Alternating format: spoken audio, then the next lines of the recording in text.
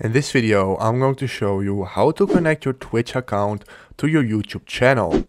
So first what you want to do, you want to go to Twitch and then you want to go to your account up here. So then hit your channel and there we go. And what you can do right now, you can go to customize channel right here and then hit your profile picture again and hit uh, account settings. So when you hit account settings, you will come up on a page like this. You can go to connections. When you go to connections, you can see all these different connections, Blizzard, Steam, and also YouTube. And when you hit connect, you have to sign in with the email, which I'm going to do right now. There we go. As you can see now it comes up like this. Twitch wants uh, access, so this is in Dutch. But just hit the email and then hit allow. And there you go now it's connected and where this will be the YouTube channel, a YouTube URL of your channel. So now it's basically connected.